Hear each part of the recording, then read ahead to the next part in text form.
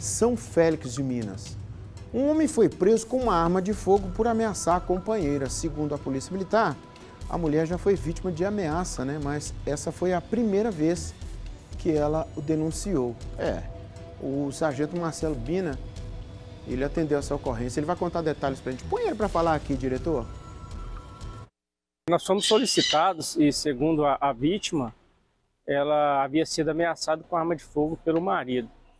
E ele possui essa arma, que a arma é, tem documento, arma legal.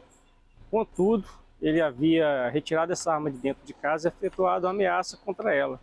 Então nós fizemos o rastreamento, ele foi localizado, a arma foi apresentada, mas em virtude da, da ocorrência, em virtude da ameaça, a arma de fogo foi apreendida e ele preso e conduzido à delegacia, uma pistola 9mm. Ela nos relatou que, embora não tenha feito ocorrências anteriores, que já houve ameaça. Então, é a primeira vez que ela solicita e realmente faz a ocorrência e todas as providências foram, foram tomadas. Foi uma ação muito rápida. Assim que fomos acionados, o autor foi localizado, a arma também, e segue à disposição do delegado. É, e quando ele diz à disposição do delegado, significa o quê? Que vai ter um inquérito que vai é, versar sobre isso aí, né? É, colher informação, depoimento. Que coisa, né?